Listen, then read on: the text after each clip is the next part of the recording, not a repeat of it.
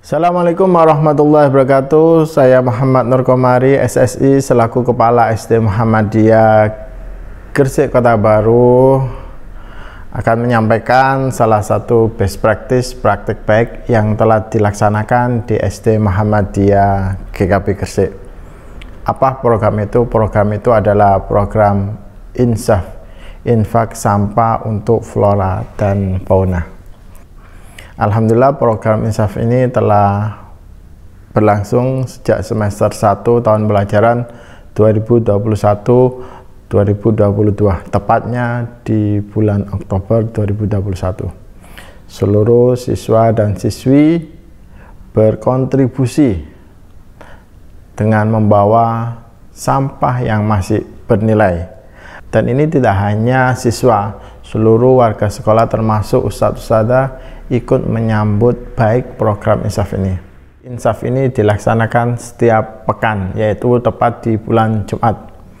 Jadi, setiap wali kelas akan menginformasikan, mengingatkan siswa-siswi maupun wali siswa untuk mengikuti program infak melalui pesan WhatsApp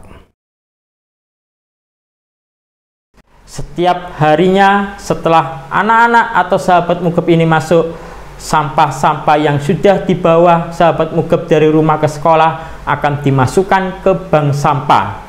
Dari situ, selama satu bulan, sampah-sampah dari infak sampah anak-anak atau sahabat mugab ini dikumpulkan jadi satu dan setiap bulannya akan kita prepare, akan kita tata dengan rapi, kita kemas setelah itu baru kita berikan atau kita sampaikan ke pihak pengepul dari situ sahabat mugeb sekolah mendapatkan income generatif yang nantinya bisa dalam rangka untuk mendukung pemeliharaan perawatan flora dan fauna di ekowisata.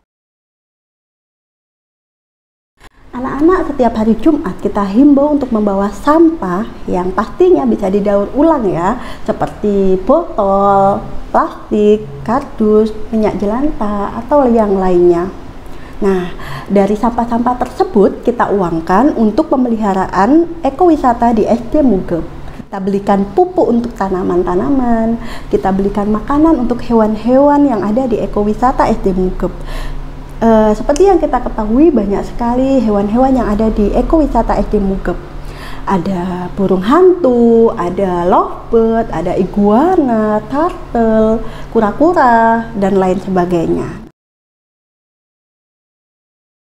Ini adalah sarana untuk mengedukasi anak-anak bahwa sampah mempunyai nilai guna.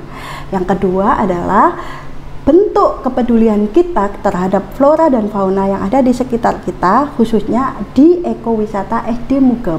Oleh karena itu anak-anak semuanya, yuk kita berinsaf di setiap hari Jumat.